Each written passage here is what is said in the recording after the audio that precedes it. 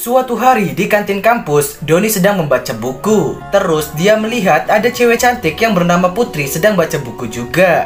Melihat cewek itu, si Doni langsung jatuh cinta guys. Nah, keesokannya si Doni berniat mau nembak cewek itu nih. Dia bertemu tetapi dia malah ngumpet.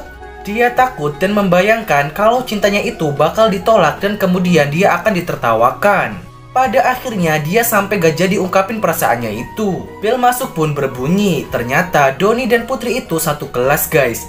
Doni pun berpikir untuk kasih surat cinta kepada si Putri. Dia menyuruh temannya untuk estafet surat cintanya kepada si Putri. Si Putri pun akhirnya melihat surat cinta itu. Dia begitu senang dan diajak ketemuan di sebuah jembatan. Tetapi dia belum tahu nih siapa orang yang kasih dia surat cinta itu. Sampai akhirnya lanjut di part 2. Part 2 Doni dan Putri ternyata itu satu kelas guys. Doni akhirnya berpikir untuk kasih surat cinta kepada si Putri.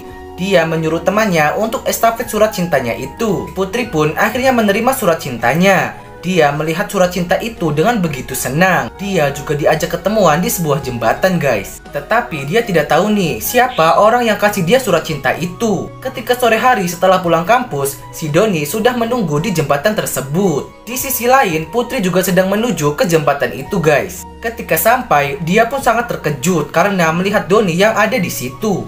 Doni mengungkapkan perasaannya itu, tapi si Putri terkejut dan menolak guys. Si Doni pulang ke rumah dengan rasa sedih dan bercampur marah. Dia menangis tapi tiba-tiba ada yang mengetuk pintu. Ternyata itu adalah si Putri guys. Dia akhirnya berubah pikiran dan mau menerima si Doni menjadi pacarnya guys.